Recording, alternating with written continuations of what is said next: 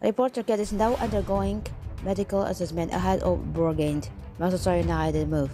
Manchester United are already performing medical tests on the Fenerbahce goalkeeper Altay Bayindir at the Premier League outfit without deal for the Turkey international, with Altay Bayindir suffering a recent back injury.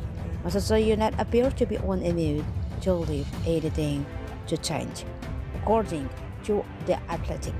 David Olsen at the Super League Goldman is already undergoing medical tests with the all Trafford of it over in Greece.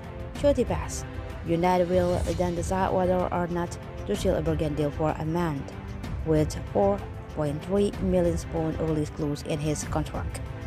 United act similarly when signing Rasmus Hojlund from Atalanta, where the 64 million pounds request means they probably clashes with Wolf and Tottenham Hotspur. United were absolutely satisfied that Hojlund owned injuries were not secure enough to keep him out of action for an extended period of time. Today reached a similar conclusion with Bayindir. The Old Trafford could be home to a new goalkeeper, but went now ends September 1st. By the level of special person and special personality by Fenerbahce president Ali Koch. Would the act as United new number two behind Onana. He would likely take the place of Dean Henderson too. The former Nottingham Forest.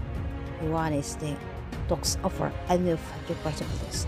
Turkish reporter Yagi Sabut Gaglu Gus was the Poda, then Ornstein. The word on Twitter that United have now agreed to pay the 5 million euro release clause in Bayern's Fenerbahce contract. The 6 feet 6 in giants, the 4 are more affordable than the list of adhesives flooded Nivas of Africa and just a bit low. Finwood. United also had discussion with Zion Suzuki, the Japan international, however, up to the group first team. Football in Belgium, joining Sint Truiden instead.